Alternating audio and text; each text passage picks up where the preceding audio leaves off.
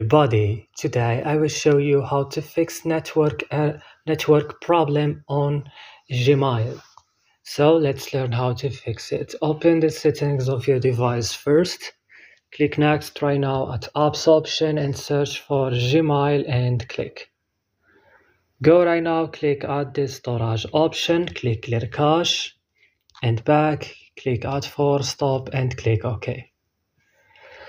So go and turn on your airplane mode, turn off it next right now and then restart your phone and that's all. Don't forget to like and subscribe and see you next video.